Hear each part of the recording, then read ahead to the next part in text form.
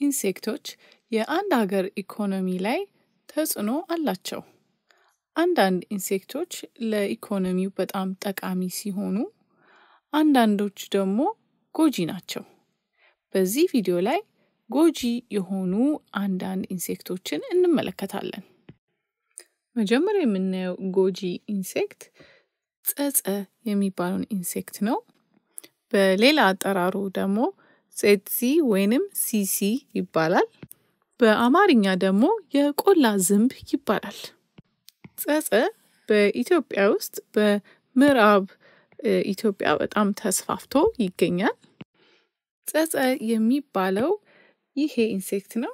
እንደ ዝንብ ከዝንብ ጋር ተመሳሳይ ነው መልኩ።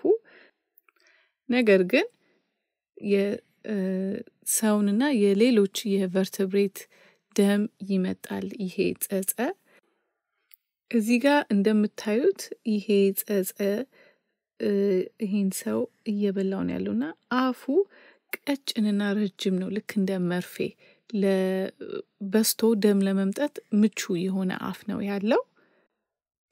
ይህ ጸጸ ዝንብ በተናከሰበት ጊዜ ህመም አለው። እናም የነክሶ ደም የመጠጠበት ቦታ ለረጅም ጊዜ ያሳክካል እና ሊያብጥም ይችላል። በተጨማሪ ደግሞ አብዛኛው የጸጸ ዝንብ ሌላ ጉዳት ያደርሳል።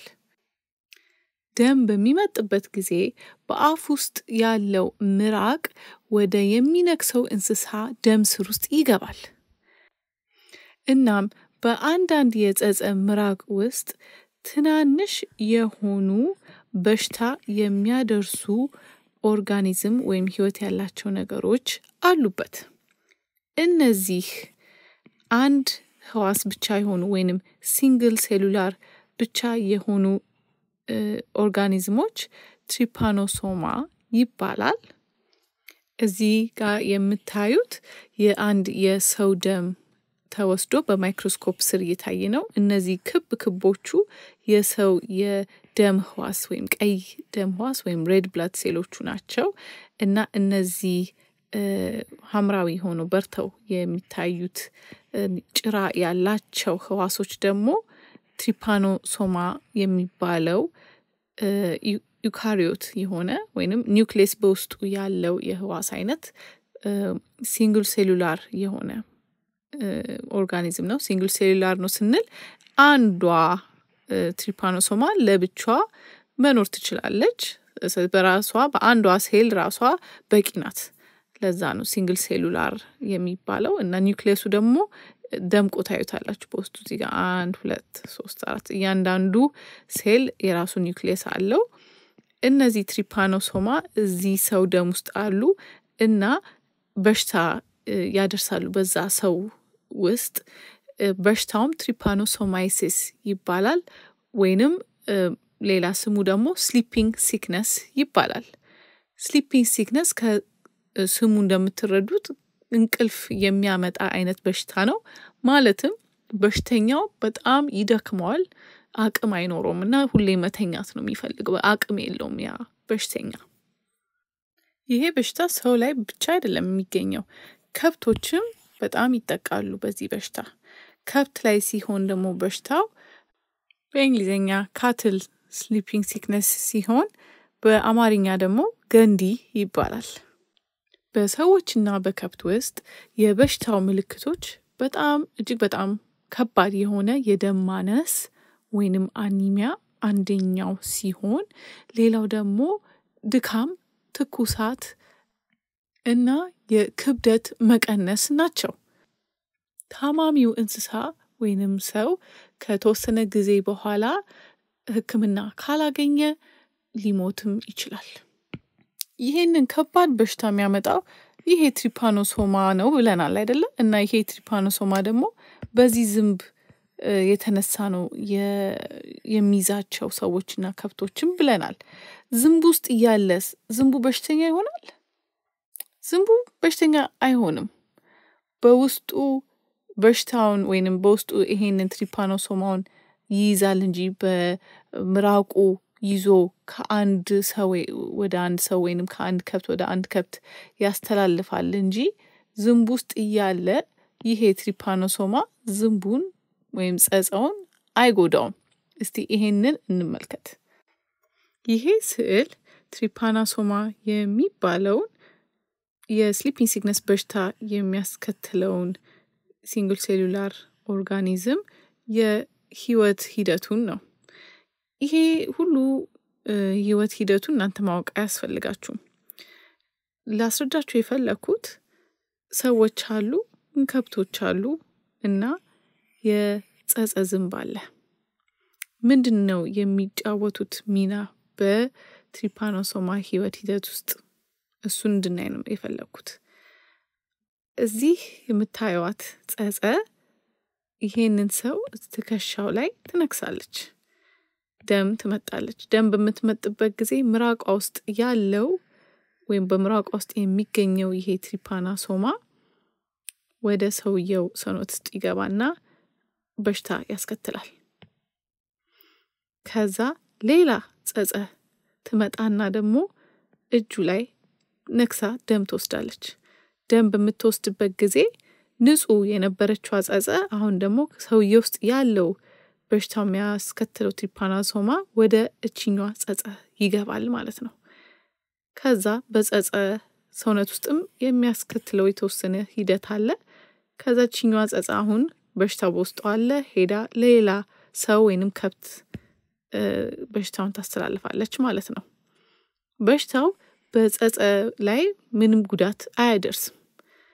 የጸጸ ስራ በዚህ ሂደት ውስጥ ከአንድ ሰው ወደ ሌላ ሰው ወይንም ከአንድ ከብት ወደ ሌላ ከብት ያንን በሽታ ማስተላለፍ ብቻ ነው።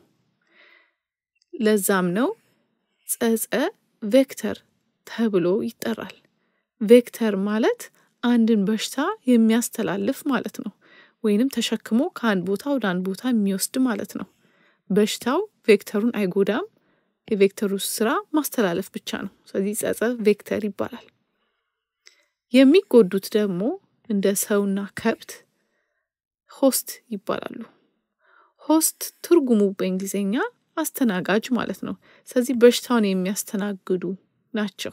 ሰውና ከብት host የሚጎዱት host ናቸው። ስለዚህ በሽታው የሚያስተላልፈው ማን ነው? vector። በሽታውን የሚያስተናግድ ወይንም በበሽታው የሚጎዳው ደግሞ host ይባላል። ስለዚህ የ sleeping sickness በሽታን ለመቆጣጠር ጸጸ ዝንብን ነው መቆጣጠር ያለብን። ጸጸ ዝንብን ብናጠፋ በሽታውም አብሮ ይጠፋል። የተለያዩ መንገዶች አሉ ጸጸ ዝንብን ለማጥፋት ወይንም ለመቆጣጠር። የመጀመሪያው ልዩ የሆነ ወጥመድን በመጠቀም ነው። እዚህ ስዕል ላይ እንደምታዩት ለጸጸ ዝንብ የሚይዙ ለየት ያሉ ወጥመዶች ናቸው። በውስጣቸው ኬሚካሎች አሉ። ይሄንን insect የሚገድል ኬሚካል በውስጡ አለ። ሌላው መንገድ ደግሞ ከብቱን የጸረ insect የሆነ ኬሚካል መርጨት pesticide ይባላል። pesticide ከብቱን መርጨት። ስለዚህ ዝንቧ ሄዳ አትነክሳቸውም። ሌላው የመቆጣጠሪያ መንገድ ደግሞ እነዚህ ጸጸ ዝንቦች የሚራቡበትና የሚኖሩበትን አካባቢ ማጥፋት ነው። ጸጸ ዝንቦች የሚወዱት ቁጥቋጥ የበዛበትና ከወንዝ አጠገብ ቁጥቋጥ የበዛበት አካባቢ ላይ ነው የሚኖሩት።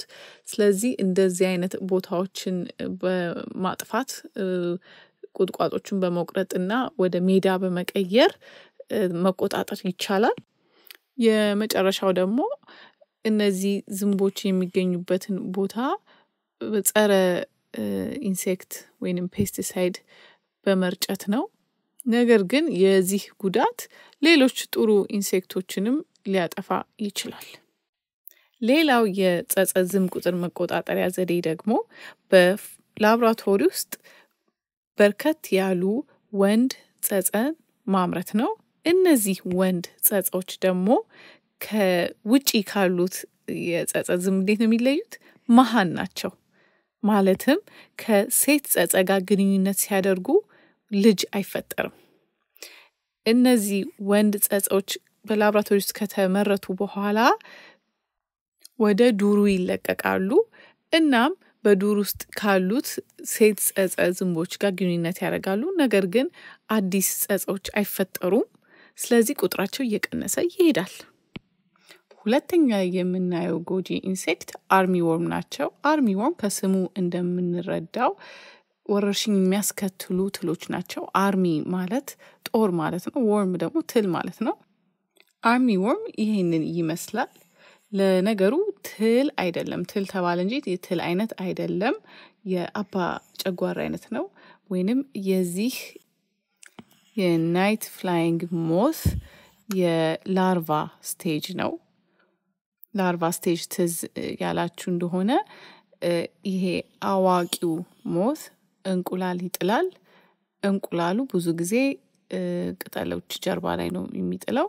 ከእንቁላሉ በኋላ የሚመጣው stage የ larva stage ነው። ይሄ ማለት ነው caterpillar የ larva stage ነው። larva በጣም active stage ነው። ማለትም በጣም ይመገባሉ፣ ብዙ ጊዜ ያድጋሉ፣ ብዙ ጊዜ molt ያደርጋሉ።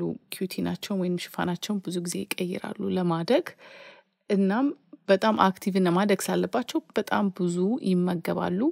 አፋቸውም ጠንካራ መንጋጋ አላቸው እና ቅጠሎችን በጣም ነው የሚበሉት። ለዛም ነው ብዙ ጉዳት የሚያደርሱት። በተለይ እርሻ ላይ ብዙ ጉዳት ያደርሳሉ። እነ በቆሎ፣ ማሽላ፣ ስንዴ፣ ጤፍን የመሳሰሉት ምግቦችን ይጨርሳሉ። እርሻ ላይ በጣም ከባድ የሆነ ውድመት ያደርሳሉ። እዚህ ጋር ታያላችሁ በቆሎ ላይ ያለው አርሚ ወርም እንዴት በቆሎን እንደጎዳው እንደበላው ማየት ትችላላችሁ። ከ larva stage በኋላ pupa stage ነው። pupa ይሰራና ይሄ army worm ከዛ አዋቂው adult ኡ night flying moth ኡ ይወጣል። ይሄ moth ቅጠላቅጠል አይበላም። የአበባ ውስጥ ያለውን ማር nectar ነው የሚጠቀመው። ስለዚህ በሮ ይሄዳል ማለት ነው። ስለዚህ ጉዳት የሚያደርሰው stage ይሄ የ larva ው stage ነው። ገበሬዎች ብዙ ባህላዊ መንገዶችን ይጠቀማሉ እነዚህን army worm ኦችን ለመቆጣጠር። ለምሳሌ ዶሮቻቸውን ይለቃሉ እንዲበሏቸው ወይንም ከብቶቹን ደግሞ ይለቋቸዋል ማሳው ላይ ረጋግጠው እንዲገሏቸው። ምክንያቱም በጣም በብዛት ስለሆነ እነዚህ larvae ዎች መሬት ላይ ያሉት ከብቶቹ ይሄዱ እንዲገሏቸው ያደርጋሉ። ሌላም የሚጠቀሙት በ brush ነገር ከእህሉ ላይ ማርገፍ እና በእጅ መልቀም እና የመሳሰሉት ለትንሽ ቁጥር army worm በቂ ነው የባህላዊ መንገዶቹን ለማስወገድ። ነገር ግን በጣም ብዙ ቁጥር ከሆኑ እነዚህ army worm ኦች የባህላዊ መንገዶች በቂ አይደሉም። ስለዚህ ጸረ insect ወይንም pesticide ኦች መረጨት ይኖርባቸዋል። ነገር ግን የ pesticide ኦች ጉዳት ጥሩ insect ኦችንም ያጠፋሉ። ለምሳሌ እነ ንብን ያጠፋሉ ማለት ነው። እነ ንብ ደግሞ ለ pollination በጣም አስፈላጊ ናቸው። ሶስተኛው ጎጂ insect ደግሞ maize stalk borer moth ነው። ወይንም በአማርኛ አገዳ ቆርቆር። maize ማለት በቆሎ ነው። stalk ግንዱ ነው። borer ደግሞ ቦሮቡር ማለት ነው። ቦርቡሮ የሚገባ ነገር moth ደግሞ የቢራቢሮ አይነት ማለት ነው። እና የ maize stalk borer moth ጎጂው stage ከእንደገና የ larvae stage ነው። አባ ጨጓሬ ወይም caterpillar ኡ ነው ጎጂ stage ኡ። አዋቂው moth እንቁላሉን በበቆሎ ወይንም በሸንኮራ አገዳ ወይንም ማሽላ ቅጠል ስር ይጥሉና ከዛ እንቁላሉ ከተፈለፈለ በኋላ ትናንሽ ላርቫዎቹ በግንድ ውስጥ ቀደው ወይም ጎርጉረው ግንድ ውስጥ ይገባሉ። ከዛ ከግንድ ውስጥ ነው መብላት የሚጀምሩት እንደዚህ ማለት ነው። ውስጡን ነው የሚበሉት። ውስጥ በልተው ካደጉ በኋላ ትላልቅ ሲሆኑ pupae phase ኣቸውን ወይም pupae stage ኡን እዚሁ ግንድ ውስጥ ነው የሚያሳልፉት። ከዛ በኋላ አዋቂው moth በሮ በቀዳዳው ይወጣል። እንደ መስኮት ነገር ነው የሚሰሩት። ቀዳዳው window ይባላል። እንደ መስኮት ሰርተው ነው በዛ ውስጥ የሚመላለሱት። ያው እንደምታዩት ተክሉ ይሞታል። በጣም ሲበላ ከውስጡ ቢጫ ሆኖ ከዛ ይሞታል። በሚሞት ጊዜ ወደ ሌላ ተክል ወይንም ወደ ሌላው እህል ይሄዳሉ። እነዚህ larva ው እንደዛ እያደረጉ ከባድ ጉዳት ያደርሳሉ ማሳ ላይ።